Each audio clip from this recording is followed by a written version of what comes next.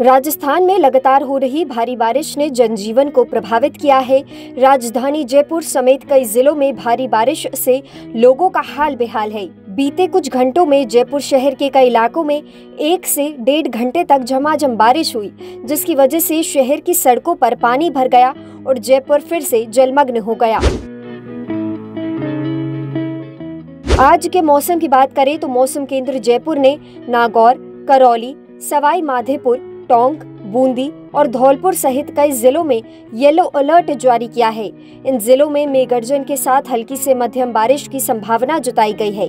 इस दौरान स्थानीय नागरिकों को सावधान रहने और बारिश के दौरान सेफ़ रहने की सलाह दी गई है। मौसम विभाग केंद्र के अनुसार आने वाले चार से पाँच दिनों के लिए पूर्वी राजस्थान के लगभग हिस्सों में मानसून एक्टिव रहेगा।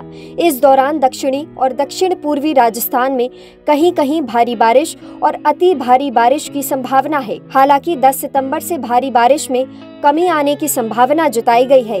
बीकानेर संभाग में 8 सितंबर से, जोधपुर संभाग में 9 सितंबर से बारिश की तीव्रता में कमी आ सकती है और इस समय के दौरान अधिकतम तापमान में बढ़ोतरी होने की संभावना है।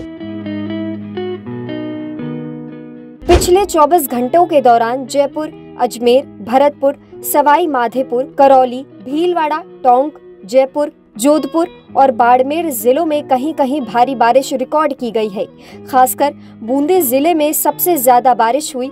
यहाँ 141 एमएम से ज़्यादा बारिश दर्ज की गई। पश्चिमी राजस्थान के जोधपुर में नब्बे दशमलव छह मिलीमीटर बारिश हुई, जिसकी वजह से प्रदेश के कई छोटे और बड़े डैम ओवरफ्लो हो चुके हैं, जिससे स्थानीय नदियाँ और जलाशय अच्छे लेवल तक भर गए हैं। इस समय प्रदेश के मौसम में बदलाव के कारण जल प्रबंधन और आपातकालीन सेवाओं पर ध्यान दिया जा रहा है।